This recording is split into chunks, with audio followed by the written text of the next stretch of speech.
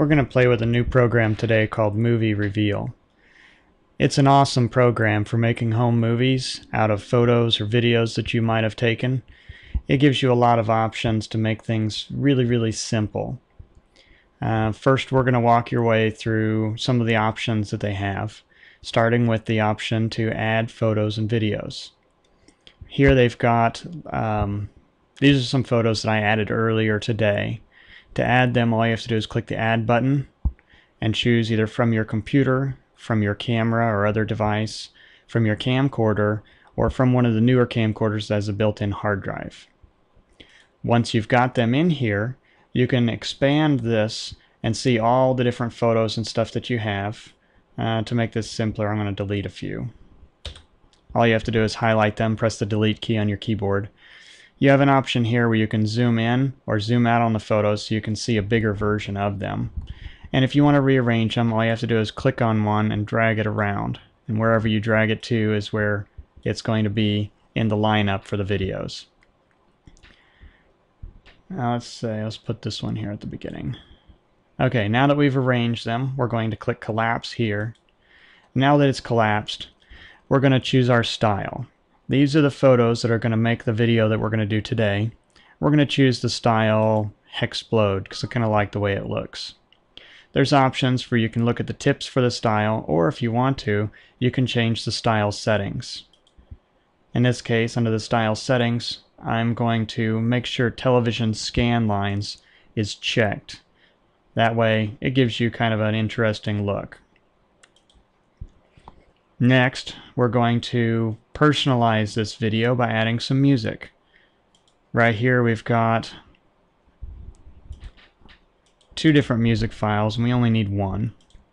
So here's one music file and if you want to hear what it sounds like you just uh, you can position anywhere in here and click play.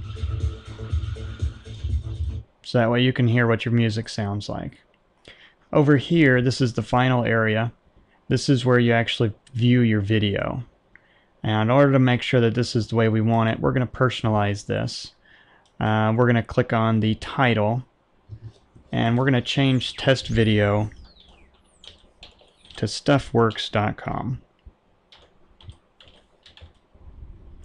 Now that we have stuffworks.com, we're going to click OK. And now we're going to click play so we can preview what it looks like. What this is going to do is quickly analyze all the media, analyze the music, analyze the photos, and start to put together a little video. Now this video is going to be approximately 4 minutes 5 seconds long based on our current setup. We have 4 minutes of video and then an introduction.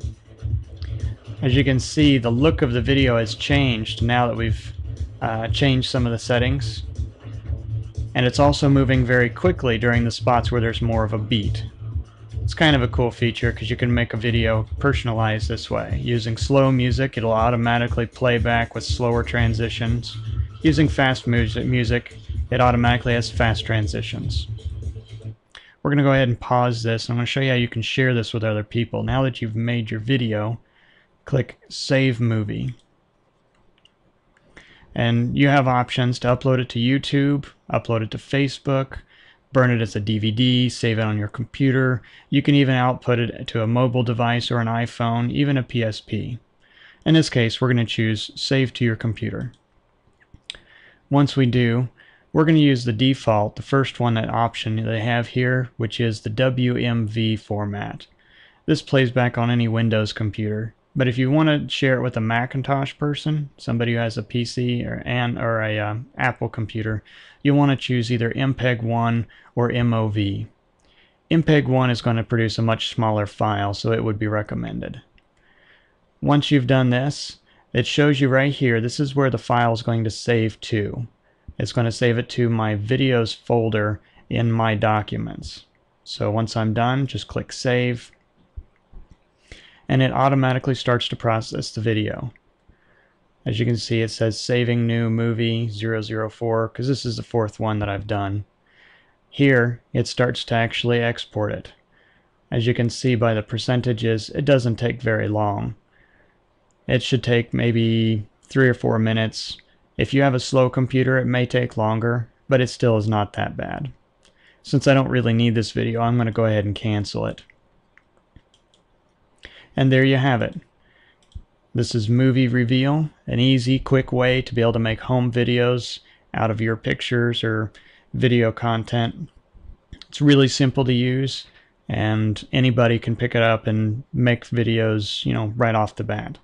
For more information about this or other things like it, you can visit our website at www.stuffworks.com.